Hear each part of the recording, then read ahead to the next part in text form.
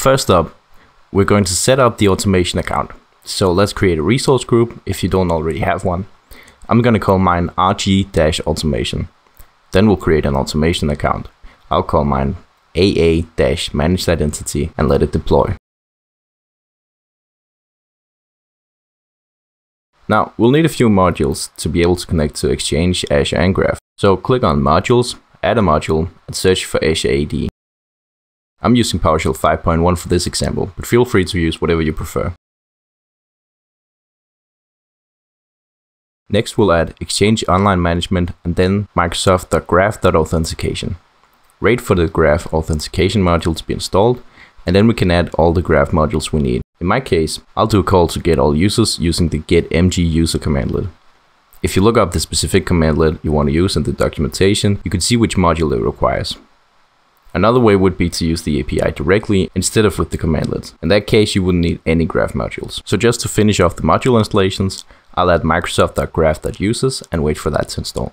If you scroll down to account settings, you'll see identity. This will show us whether the managed identity is enabled and what the object ID of it is. This is basically an automatically added service principal that is managed by Azure, so you don't have to store any credentials. There are two kinds, the first one being system assigned, which is what we'll be using today.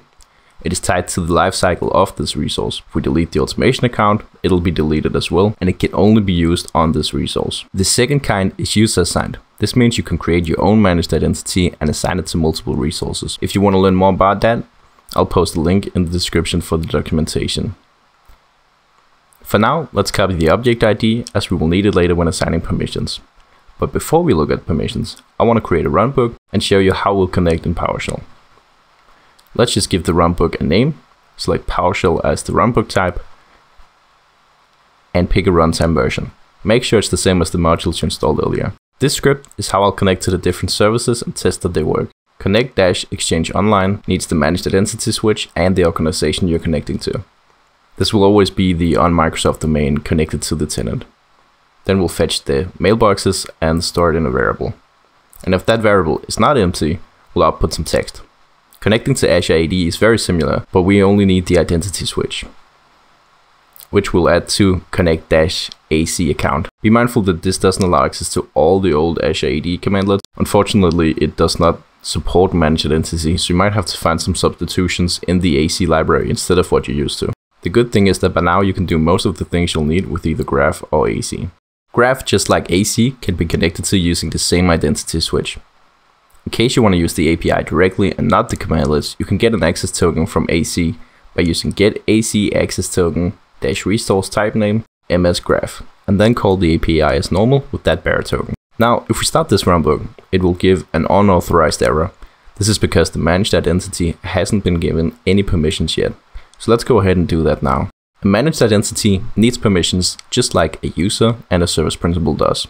The permissions vary for the different connections I'm going to show in this video and will overlap slightly. When connecting to Exchange Online, you'll need one of the following permissions shown here. Just for demonstration's sake, I'll assign my managed identity the Exchange Administrator role. I will do this just as I would assign it to any user in the portal.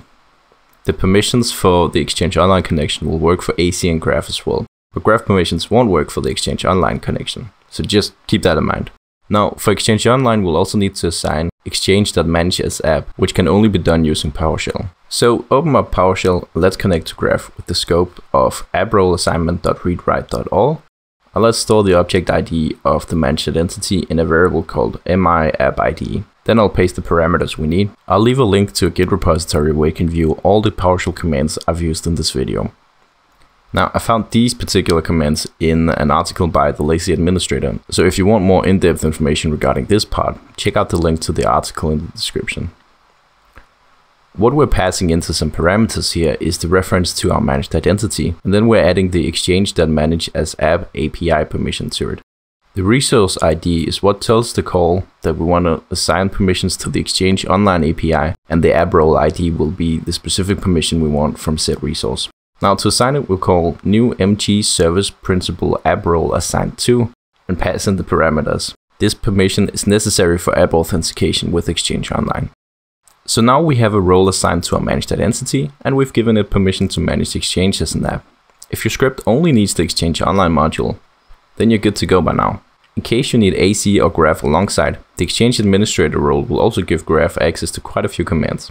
The proper way if you only use Az or Graph would be to just assign permissions needed for the tasks you want to perform.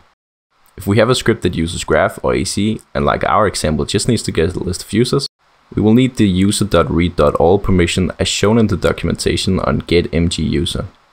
For this we'll also need to use PowerShell. We can connect to Graph with the same scopes as previously, and we will still need the object ID of the managed identity.